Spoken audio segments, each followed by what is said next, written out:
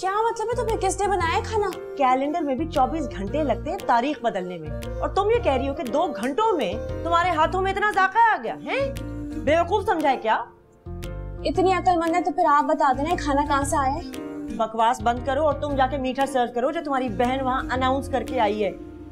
मुझे पता है सरमत दे करके आई है खाना। आपको कैसे पता चला? ऐसे ये जो हॉट पॉट हैं ये हलीमा भाभी ने खुद मेरे सामने खरीदे थे अपने सुल्तान के लिए।